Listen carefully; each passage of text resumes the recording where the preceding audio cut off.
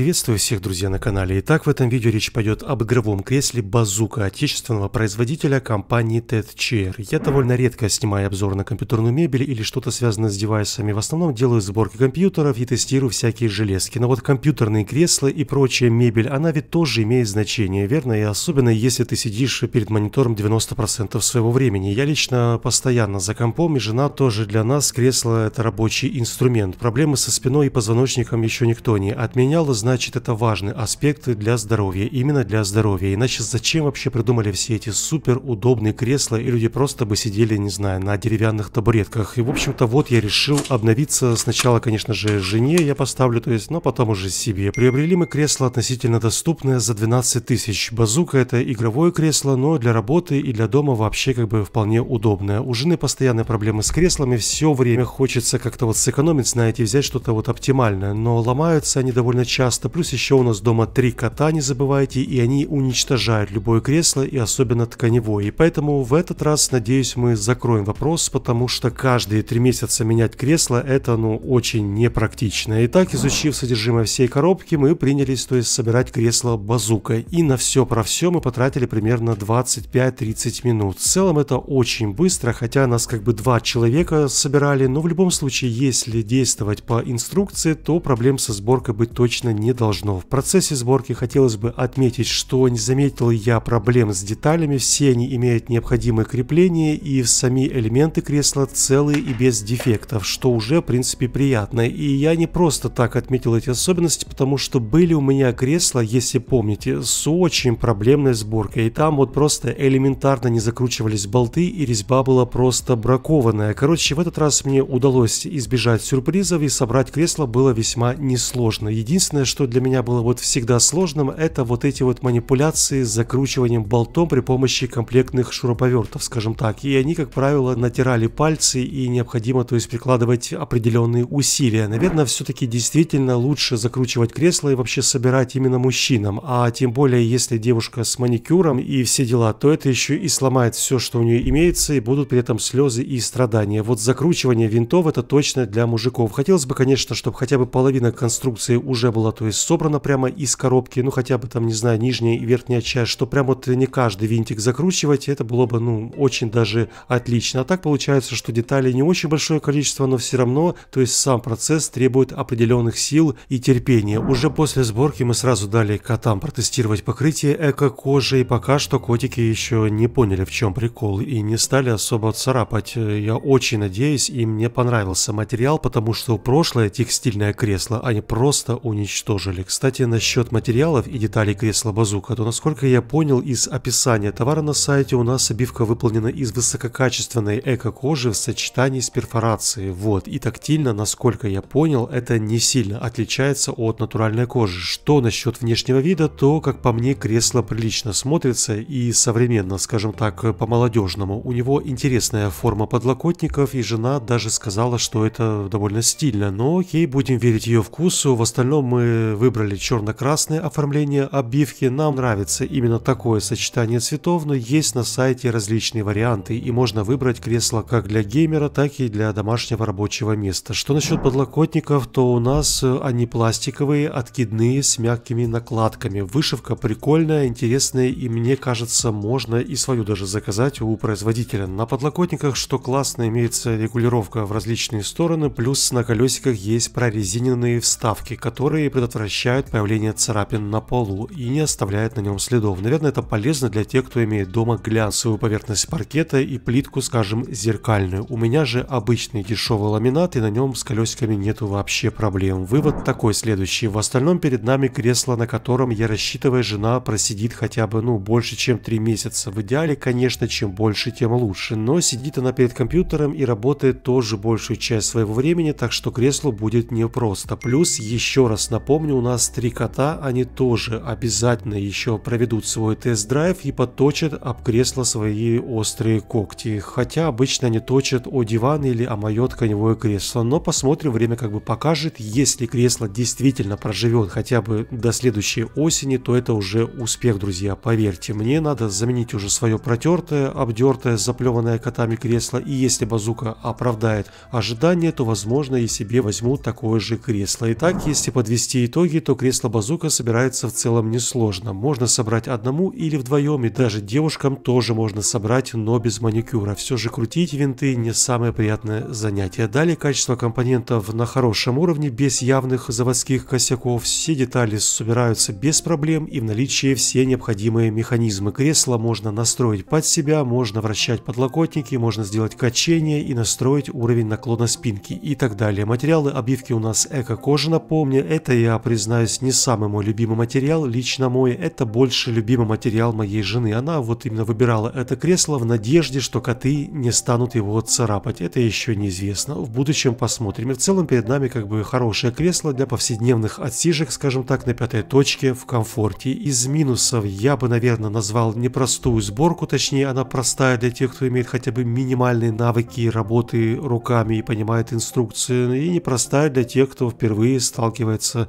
со сборкой и придется приложить приличные усилия для этих задач. Я-то уже собрал в своей жизни более, не знаю, 8, возможно 10 кресел, так что с этим нет проблем. Для меня же самое важное это цена доступная и время покажет, насколько цена соответствует качеству. На этом у меня все, друзья. Увидимся с вами уже очень скоро. Всем еще раз я желаю не болеть и до новых встреч на канале. Всем удачи. Пока-пока.